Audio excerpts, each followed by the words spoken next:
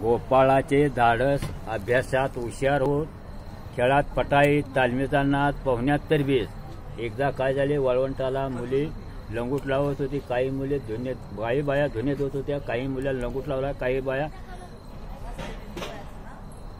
निघाल्या त्या रस्त्याने.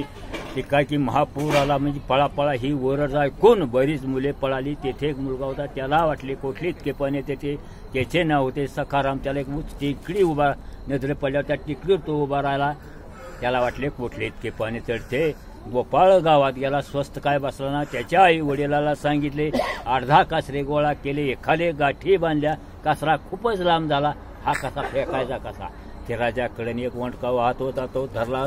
हा त्याला गच्च गाठ दिली दोघांनी उडी टाकून त्यात गेली आणि त्याला म्हणले ह सखाराम घाबरू नकोस गोपाळ म्हणू लागला.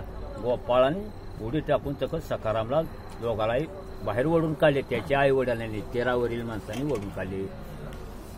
ह्याच्या पलीकडे तुम्हाला आता काय मला बोलायचं?